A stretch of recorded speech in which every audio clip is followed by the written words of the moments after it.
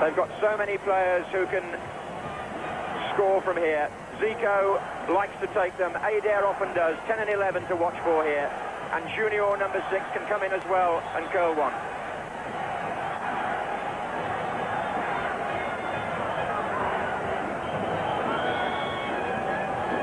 And that was Zico.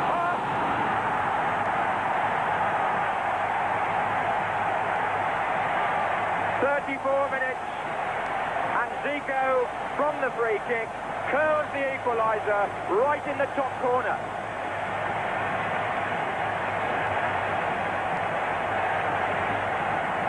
The Brazilian